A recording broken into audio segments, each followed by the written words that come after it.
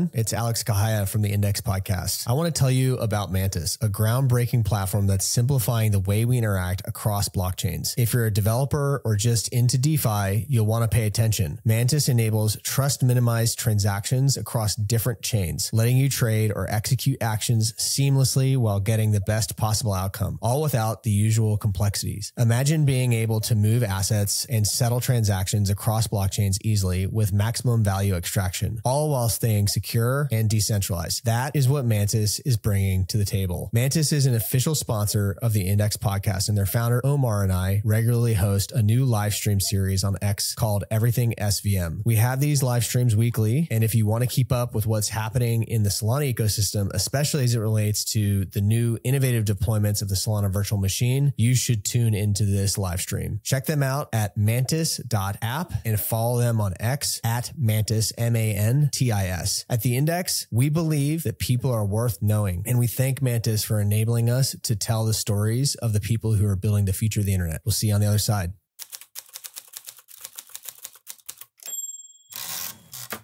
Hey, everybody, and welcome to the Index. I'm your host, Alex Kehaya, and this week I'm excited to be joined by Joanna and Nazreen, co founders of Soon.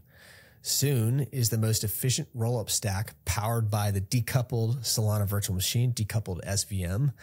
Um, Joanna and I have known each other for quite a while uh, from earlier in her career, and these guys have a killer team that, if you've been paying attention on Twitter, you've seen that they just announced their seed round or pre seed, I guess, with a bunch of who's who of crypto. Um, so some pretty big names that are backing what they're doing. I know it was a mouthful in the intro, like what it is. We'll get down to that, uh, get down to some more details on what Soon's building. But before we do, I would just like to maybe start with you, Joanna. Um, can you just talk about why you're building in crypto generally? Like what has driven you to work in this industry? And maybe tell us a little bit about how you got here. Yeah, for sure. Um, it's a long winded road, that's for sure. uh, I was uh, I was uh, working on Wall Street as a currency trader for over a decade, and uh, one thing that you know probably made me one of the first people among my friends, at least, that heard about Bitcoin was uh, because of what I do. You know, I trade currency, fiat currencies, and one of the um, biggest topics back in 2012, 2013 was okay. This new thing, Bitcoin, has a, a potential has the potential to take over the fiat, and I did what a currency trader would do, which is hedging my risk, career risk, with uh, personal investment in Bitcoin. Sadly, I, I used. Gox, so all of that went down to zero. But um, wow, fast forward, yeah, to 2017 you know, I, I started to realize it's more than an investment vehicle. It's a lot more uh, about the technology promise. You know, at the time, uh, Ethereum has started that whole smart contract narrative, and um, I kind of took a took a coding lesson to um, to prepare myself for that um, transition to the to the tech side. So um, really use that opportunity to meet a lot of great people within New York, uh, where I live and we started this crypto NYC community that's a developer uh, first community. It's just a fancy name for a bunch of nerds that like to talk about white paper all day. Um, and we had this co-working space, you know, this was all pre-pandemic time. And um, yeah, just a lot of interest uh, in that space until I finally just realized, you know, why am I still like in Wall Street. Like, why am I still working my day job when all I think and talk about is, uh, you know, breathe about is, is crypto? So um, I p- took my first gig with Coinbase um, at the time as a um, as a um, you know uh, what do you call it like um, on the leasing side, um, product manager. also working with Prime Brokerage, you know, one of the first institutional product that Coinbase pioneered and later on moved over to the BD side and helped with um, launching that NFT marketplace. Uh, so that was my first um, full time job with crypto. And then later on, I moved over to the real Web3 company, as a Coinbase person would say, and worked at uh, OP and Aleo as my last two, um, you know, last two big jobs as head of BD. And yeah, and that's where we met when you were working with Aleo. Uh, I think that was like the first right. time we crossed paths, and um, right. I uh, I'll, I'll I'll get into this a little bit more, but two things that pop up for me from your story. One is you know you're an OG if you got rugged by Mount Gox. Um, and li- literally, literally everyone has has had some. If you've been in this space long enough, you've you've probably made some error or gotten caught in some kind of thing like that. Um, even me, like I, I, I lost funds on FTX. Um, not a whole lot, but I like, yeah, when, when all that was going down, I sent, um, a bunch of crypto off of FTX and it happened like instantly, right? It was like on Solana, I got it off. And then I was like, oh, there's this little bit of cash. I'll just ACH that. It'll, it'll be fine. Never showed up.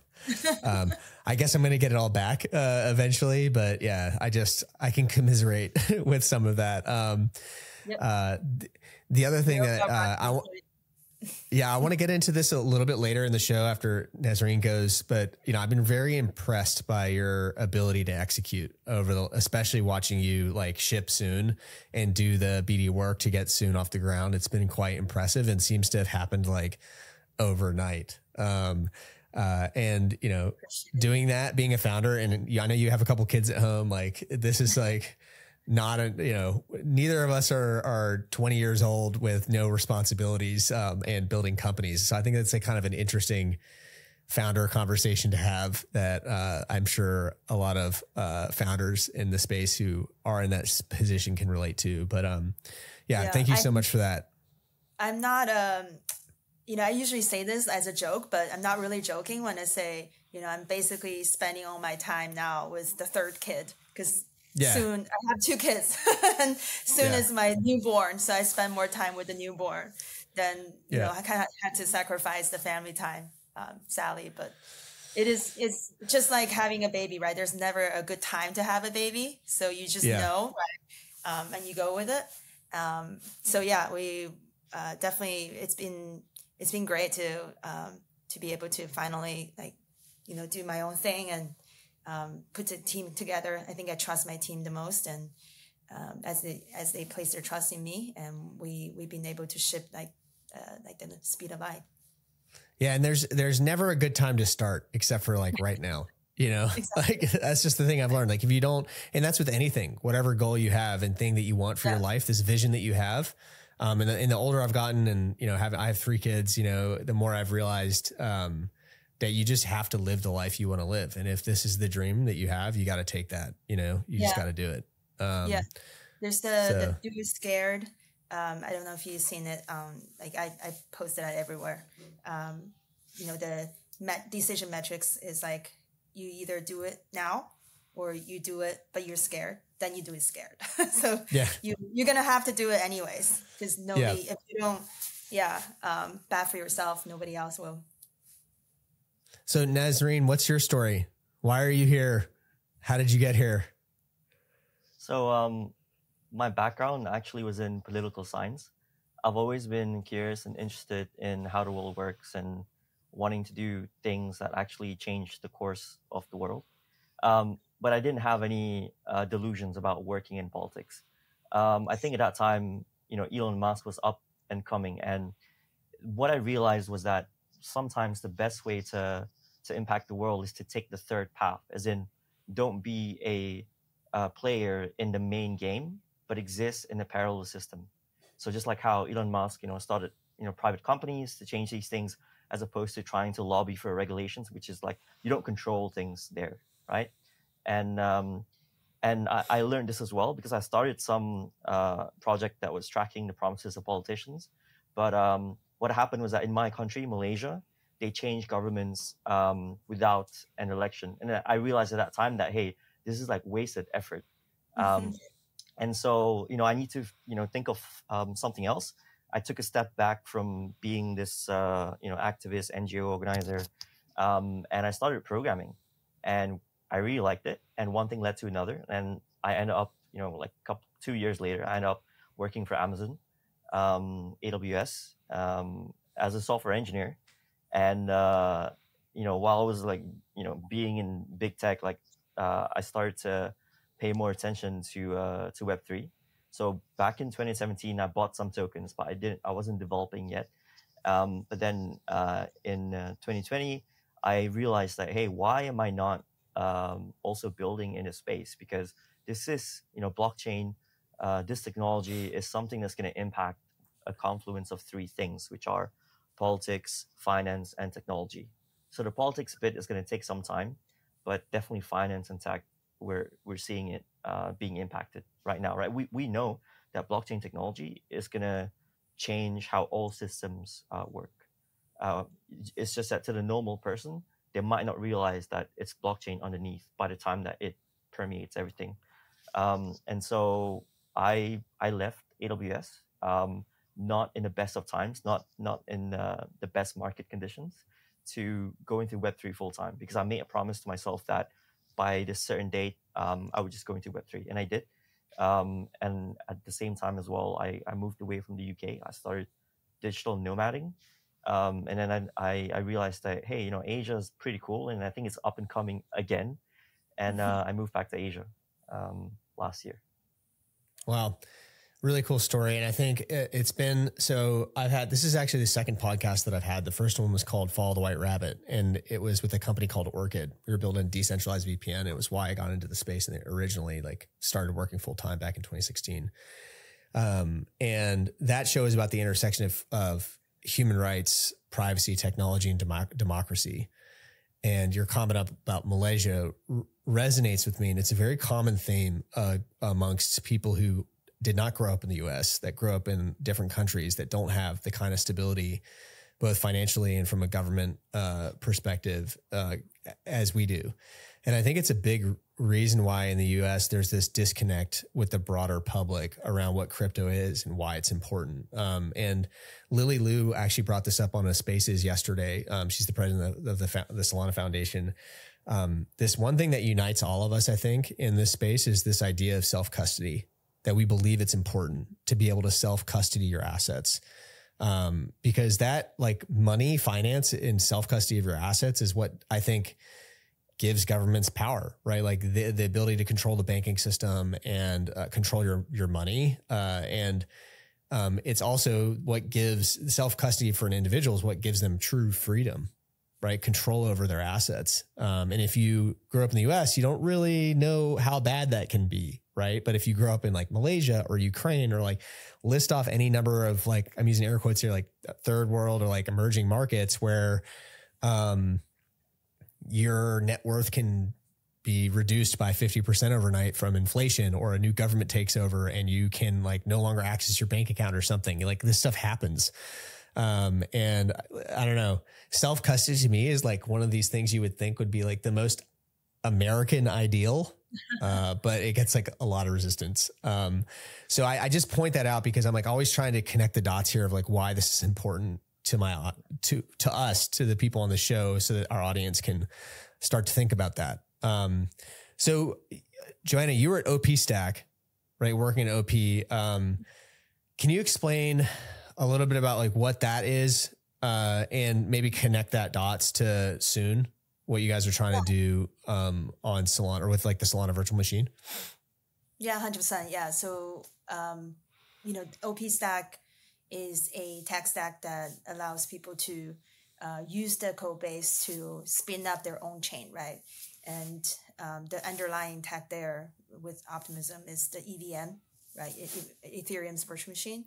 Um, and I think when when I was there, I I really saw like with my own experience how how quickly that grew into a, um, a you know a great playbook, right? For uh, for projects that you know has a general purpose chain. They also have the tech stack that can help other um, you know either developers or businesses to spin up their own chain.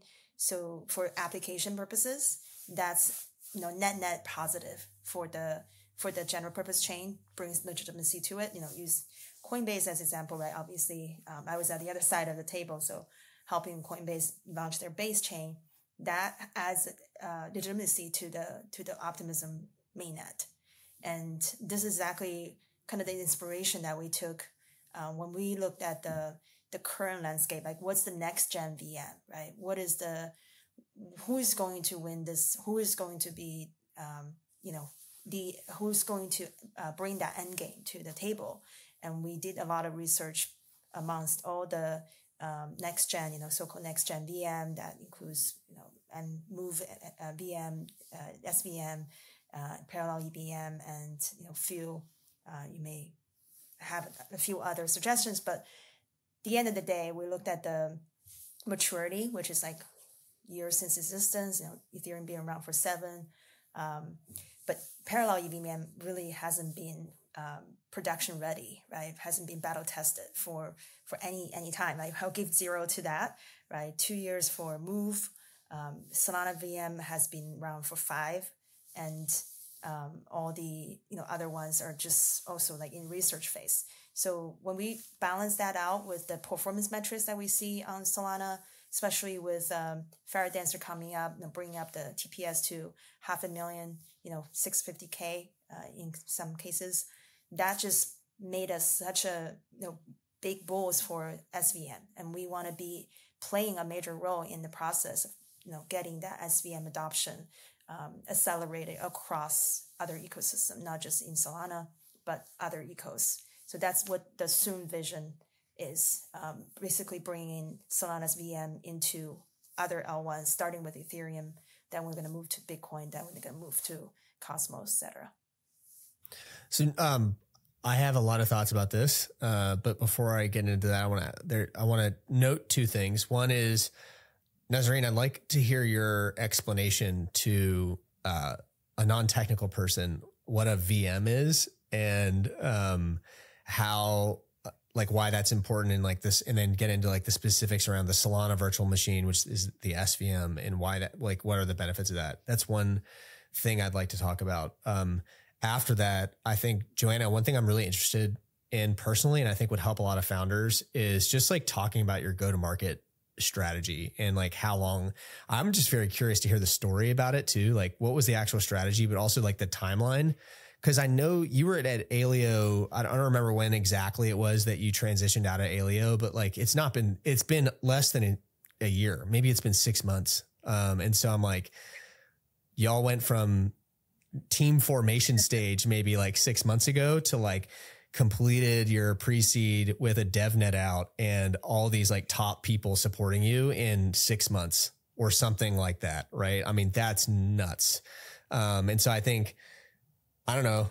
I think I'm interested in hearing that story, and I think other founders will be too. Uh, but before, so I just want to note that mental notes, start thinking about that one, and then Nazreen, like, let's get into the X. We'll dig into the tech a little deeper here um, for a couple of minutes before we get into the GTM the go to market strategy? Sure, yeah. Um, so, what is a VM to a non technical person, a virtual machine? You can think of it as the operating system. So, if you have your phone, it's like iOS or Android. And the reason that it's important is that it dictates how applications on the blockchain works. Uh, what was the next question? no, that's it. No, so yeah, we can talk about that a little bit. So it's just very simply, it's an environment where you can execute a application and these applications just live on a blockchain and you're basically making it so that um, the Solana virtual machine, which is a type of operating system, can work on any blockchain. Like any blockchain, um, they can execute contracts on that live on that chain, like Ethereum, for example. Right? Am I getting that right? So it's it's more. I guess like, it's a roll up. Um, so it lives on it lives on yeah. your roll up chain, and then it and yeah. then it settles down to that that um yeah that that that change. So talk about that a little bit for people. So um, I I think um, you know you know back in the day uh, when laptops were a lot less performant, um, you know people would think, oh, like I need to upgrade my RAM, right? And uh, one way to do this is that you replace the, the internal RAM like in your computer, but there was also the possibility of extending it through um, uh, USB. You can convert a part of your USB to uh, to RAM memory. So you boost the uh, the memory of your computer through this extension. So yeah. roll up um, are a bit like this, where you have the main machine. You can think of that as the L one, and you attach things to that main machine, and that basically boosts or extends um, that main machine. I'm a fist bumping over here for people who are listening to the show and can't see, but that's one of the coolest explanations I've actually heard of what a roll up is. Um, it's no. it's so hard because we have the, the, there's all this infrastructure terminology that um, is so. I mean, people who live and breathe this space don't even understand, you know. and we're going through that right now in the Solana virtual machine. This like alt SVM space, network extensions, roll ups, whatever, like uh, ephemeral L2s. You know, there's this crazy amount of of terminology, and it's just hard to visualize what how it all works. Yeah, I mean, Alex, who gave me an assignment, explain it to non technical people. I took that assignment, man. Yeah, it's great. No, it's a good job. I mean, yeah. So you just like plug it into your USB port. It's kind of the same idea. Um, it's just there's uh, you know multiple. It's just different servers communicating with the the L1. That is sort of that interface to connect. Of course. Um, of course. Down. Yeah. There's there's the question of how exactly they communicate with each other. What's possible? You know, like there are things that depend on the L1 or the main machine, and there are things that can be run on that um, extension machine. Uh, that cannot be transferred over, but then some bits of the data can be transferred over. Yeah. All right. So, and then the Soon stack is kind of like the OP stack, where you guys have created a bunch of standardized technologies and tools that any developer can go use this open source software to deploy um, a a roll up on top of any other L1. And just to give people like let's talk about Bitcoin. Maybe give uh maybe Joanna, you can jump in here and give like an example of why would you need this on Bitcoin? Why do you need an extra layer of infrastructure for building apps on Bitcoin? I think it's the best example. It's even better than Ethereum in my in, in my opinion. Um, but uh, what, why why do you think you need that?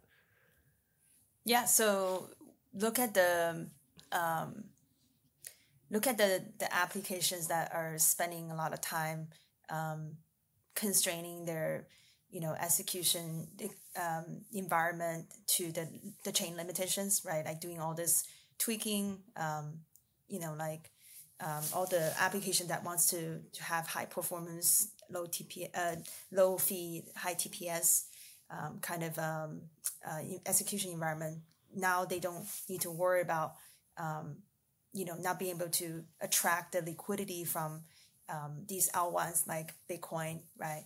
And users, um, while they still use that execution environment. So basically, we're we're all about modular approach. I think the best way to explain this, right? So you take the best of the two world, right? You got the Solana's um, parallel execution, which is just inherently much better than any other VM because of the um, you know, the design choices. And uh, when it comes to Bitcoin, it's also very clear that, you know, it adds all that, um, unlock all that use, use cases that are only leveraging um, Solana virtual machine, right, into the, the Bitcoin ecosystem. So like think of it SVM in this case as a, as a bridge, right? We're bridging, um, we're giving these people, like the, the developers, the apps, a bridge to cross that river from um, you know like the Stone Age, I would call it, to to actual like high perform highly performance stage, right? So yep. Um, without really losing their audience, without losing losing their user base. Well, I think another way to articulate this is like Bitcoin was designed to be a store of value, and it was kind of intent with proof of work. The way that this software was architected, it wasn't really meant to be like cheap and fast.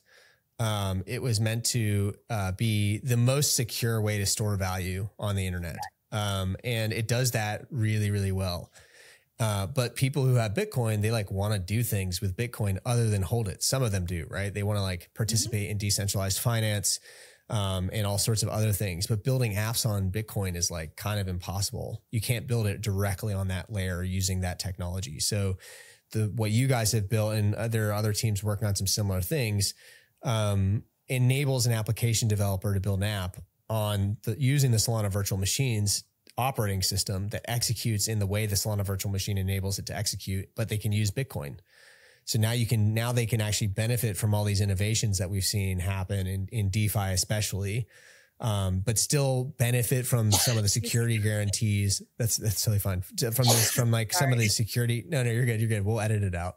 Um, just from like some of the security, the security guarantees that we have um, on on the Bitcoin network. Um, so yeah, I think that's I think that's a, like a great way to articulate why there's all this experimentation in the roll up space, but particularly what you guys are doing, I think we've primarily seen rollups focus on Ethereum as scaling solutions. Um, and I don't think that these are as much a scaling solution for Bitcoin as a usability, um, like an access maybe. I mean, I guess it is scalability too from an application standpoint, but I, it's, I, I don't really think about it that way because Bitcoin, I don't, in my mind, was never meant to be a general purpose blockchain for building apps, right? It just wasn't, that's not what it was for. Um, so I don't know, Nazreen, do you have any other thoughts to add to that? Um, I mean, I, I agree with you, right? Like, um, so every every chain, you know, optimizes for different things too. But of course, you know, every other chain after Bitcoin had the benefit of hindsight, right?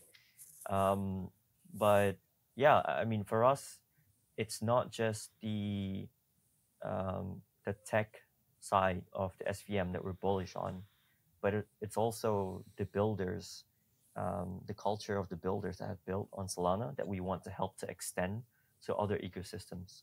So people who you know probably Bitcoin maxis are uh, the ones that are less likely to venture into other ecosystems. Um, like these would be people who would greatly benefit from um, SVM applications being deployed into their ecosystem, like what you're saying to unlock, um, to make use of that liquidity, um, but to also actually participate um, in um, in Web three or decentralized anything, but still remain in their ecosystem of choice. So, uh, Joanna, let's talk about your go to market strategy. I'm ready. I think we're at the point where we can switch gears a little bit. Um, I am so curious in like how you thought about that and like the Genesis story uh, maybe is like a good place to start. Like when did you guys start working on Soon and how did you uh, do this so quickly? I mean, not just from a and Nazreen, you should talk too, like about the technology piece. Like it just seems like you've gotten to DevNet with like a product in a seriously short period of time.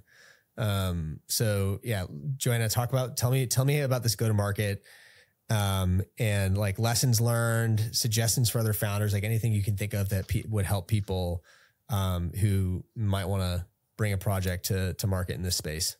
Yeah, for sure.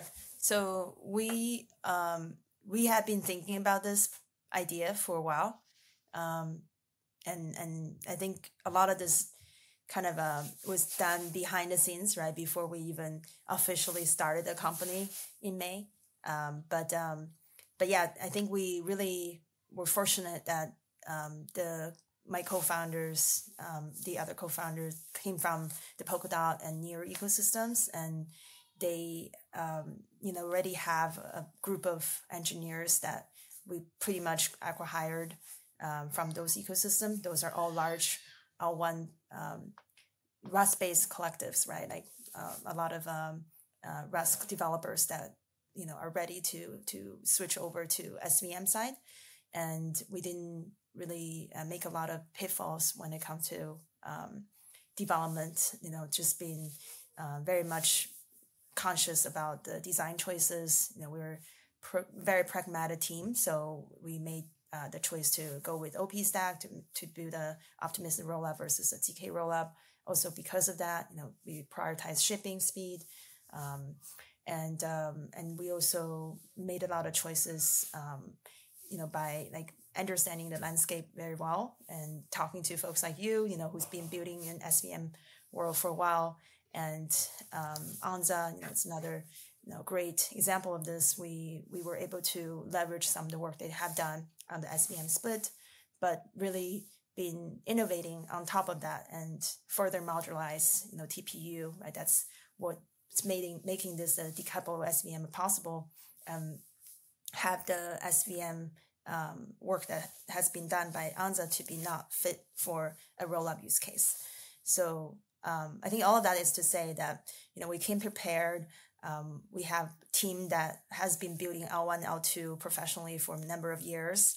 And, um, and in terms of the, the whole like fundraising story, story was also, uh, very deliberate. You know, we, we debated internally, like if we wanted to entertain any VC offers and we decided to say no to that and only went with, um, you know, took a long time to, to pick the, uh, the 50 high quality angels that we have on our list. And we spend one month talking to that entire list one on one and pitch every single one of them. And we got 44 yeses out of the 50. And, um, you know, I wouldn't really recommend this to other founders, I would say, because it's very uh, time consuming, but it was really worth it at the end uh, in our case because we needed the the early supporters to help us, you know, with building narratives, with um, all the technology, you know, innovations that we made. We will um, need those um, technical advisors to to chim, uh, to chime in as well, and you know, to help balance out the um, like you know to make make sure that whatever we're building is actually valuable right to the community um, but um, yeah that's uh, that's that's how we did it it was very much of a uh, labor of is that labor of love is that the right word yeah it's, it's it a lot is. of it's hard right labor and, yeah, yeah yeah you know well i think of, i uh, think like it's interesting I think a lot of people's perception would have been the one that I had, like, oh, this just came out of nowhere overnight. But the the true story is, and this is the same thing for me with with ABK Labs. Like, this is actually my entire career behind this. Like, it's been 15 plus years of work and relationship building. Like, even down to the, my co-founders. Like, I've known them my whole professional career, and I've been building those relationships. And your ability to go out and get those 50 plus people to even talk to you is because you've built these relationships over a very long period of time. And so I think the lesson for founders here that are just starting out in this space is like, you need to go out there and create a lot of value for a lot of people over time. And then one day you will have the right idea with the right Rolodex of connections to help you make it happen. And you'll reach out to them and they'll want to work with you because you've already given them something of value. Um, I say this because I had a call with a guy uh, the other day. I'm not gonna say who it was, but he was just a kid, like he was like 26, and he was kind of like at a little bit out of his depth on um, the value that he brings to the table. Uh, and I find this a lot with like a lot of young people. They're like, "Oh, so and so follows me on Twitter, and I'm just trying to make it in this space," and blah blah blah. And like I like I appreciate the sentiment, but like the real work is like do. It's not like who follows you on Twitter. It's like right. what can you build and who have you built it with um, Yeah. that's actually the the value um, that that you bring to the space. And you guys clearly have that in spades which is why you're like hey we make a phone call and we get a bunch of engineers. We make another phone call and we get like a good connection who can who can help us because you just you just have those those those things kind of built up in your stable. So valuable i think a valuable insight um you know it wasn't an overnight success actually. It's like years in the making for everybody involved. Exactly. Exactly. So, what about you, um, Nazreen? Like anything to add to that Genesis story? Other other comments? Yeah, I, I think I have to state a disclaimer here, Alex. I'm flattered, but I'm not a co-founder. Actually, I'm the head of DevRel. Um, Okay, I, Yeah. I, I didn't know. All good. but I, I would I would take that promotion, Alex. If you would uh, speak to Joanna, and I would gladly take that promotion. No, I'm kidding. Um, so Joanna basically um, covered um, most of um, why we were able to ship so quickly. But I think one of the the key um, uh, um, reasons is basically black boxing everything else that w- is not the priority. So for us, the priority is maxing out the SVM, right? So the SVM is already Yeah. performant, but for, for a roll-ups use case, um, well, first and foremost, we need to make sure it's secure, and then we want to make sure that we can uh, tweak uh, the performance to even higher.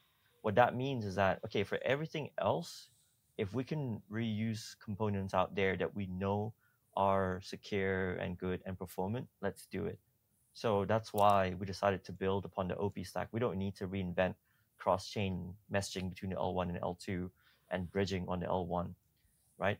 And at the same time, the derivation layer, um, the specs as written by um, Optimism are already very detailed. We don't need to waste time redesigning that. We do need to put in a lot of effort into implementing it because um, to make the OP stack work with the, with the SVM, no one has done it before. So uh, that's innovation on our side. Um, and we need to make sure that we focus the majority of our engineering efforts on the work on decoupling the SVM because that's again something new that we are bringing to the table um, and making it secure. So it's pretty much understanding what is the uh, what is the focus of the innovation right now, um, and uh, and for everything else, um, as long as it's secure and performant enough, then we don't need to reinvent that, right? Because because we know that there are projects that try to reinvent everything uh, at the same time. That's that's that's not gonna lead to fast shipping, right? Yeah. And we we want we want to be able to put uh, our product out there first. You know, let people experience it, and we can iterate upon it, right? Like we have several things that we'll release after um, our mainnet lined up, but uh, the, the the goal is to have something real uh, reaching people as as, I, as I, soon you kind of yeah i love that i you you i like the soon reference um you uh you you've really hit on something pretty important here too that's i think another big takeaway for people listening which is focus um and um there's a, a the i talk about the why a lot this is like the simon Sinek thing but it like really helps me um internalize ideas and get people going in one direction together um is having a really a really solid why and you guys clearly have one. I don't know if it's if it's the the main one, but one like thing for you that's come out of this podcast is this idea of does this allow us to ship fast? Um, like this question, right? Like this is another way to get to your whys. Like have this resounding question the team always asks themselves, and it helps like self direct the key activities and the focus of the company. Um, and a friend of mine used to tell me a story, just like by way of example of where this worked out really well, which is Oracle's uh, sailing team um, theirs was similar. It was like, does this make the boat go faster? Like if, if I'm working on something related to our boat, does it make us go faster? And if the answer is no, you're probably not working on the right thing. Um, and so this focus is actually how you, with a very small team, get a ton done. Um, and, and, and do the right things that help you get to market. Um, so my last question, same question I ask everybody at the end of the show, because we're getting here to the top of the show is like, what have I asked you, not asked you, sorry, that I should have asked? What have I not asked you that I should have asked? Damn. uh, I would say um, what differentiates us, right? I mean, get down to the business. Um, Let's go. Yeah. um, yeah, I mean, there are several SVM projects out there that focus on different things, like scaling Solana. Um, we are one of the only ones that settles on Ethereum and other ecos. So, you know, from the get go, the the focus is, is really kind of bringing these um, SVM into other eco, as I mentioned, um, and still on the other side, we get the liquidity and user base from um, from the from the other L1s. So uh, in this process, right, like what makes us different is number one, we're um, EM focused. We're very much a team that's strategically uh, situated and aligned with emerging markets. You know, many people on the team, except actually just myself and uh, my head of BD, I just hired from Sushi. Everybody else is outside the U.S. Right, so we already have these deep, deep connections on the um, on the developer side, and mm. um, we have um, we have been you know thinking about for the go to market side for developers, we will have these venture studios that help you know found these future uh, to find the, the future founders, but also fund them right um, through this uh, assembly, and um, and the other thing I would say is um, what makes us different is you know we have the tech stack right. That's that's a very different strategy from some of the other um, some of our competitors um, who are just building a general purpose chain. We're really focusing on you know this open sourcing ethos right to release our tech stack and our code base for the uh, for the for the public to use as a public good. But in the process, you know, we um, provide these one shared path towards upgrades, um, one shared suite of tooling, one shared um, uh, suite of maintenance, right? To to make it very easy for these chain operators to maintain and um, continue to you know build distributions on top of their chains.